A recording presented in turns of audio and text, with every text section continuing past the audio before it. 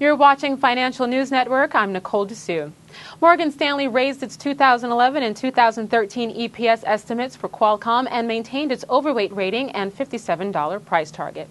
The bank sees 2011 EPS of $2.85, up from $2.78 per share, and 2013 EPS of $3.55, up from $3.45 per share. Qualcomm has a potential upside of 18.1% based on a current price of $56.53 and an average consensus analyst price target of $66.75. You're watching Financial News Network. Keep it here. I'm Nicole Dessou.